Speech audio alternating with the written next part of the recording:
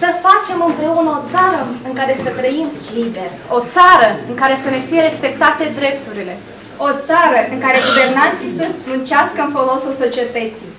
O țară în care progresul să fie stare de normalitate și unde regresul să nu se justifice prin așa zise reforme. O țară în care să se respecte Constituția, legile țării și tratatele internaționale la care suntem parte.